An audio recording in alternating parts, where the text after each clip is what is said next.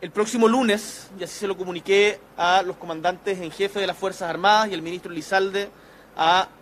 la Contralora y a los presidentes de las cámaras del Congreso, he decidido convocar al Consejo de Seguridad Nacional, el COSENA, para el próximo lunes a primera hora, para poder recibir comentarios y aportes acerca de la mejor forma de implementación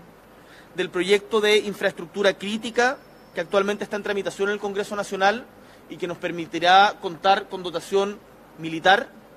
en lugares críticos donde haya que reforzar la acción de las policías. Además, he decidido, tal como lo hicimos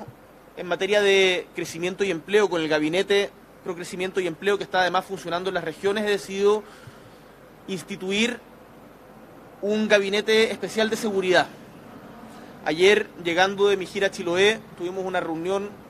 con la ministra del Interior, con el subsecretario del Interior, con la delegada de la región metropolitana, con el subsecretario de Prevención del Delito, con el subsecretario de Fuerzas Armadas, y en donde vamos a incluir además al subsecretario de Justicia, a la subsecretaria de Hacienda, para poder tener una visión integral que esté funcionando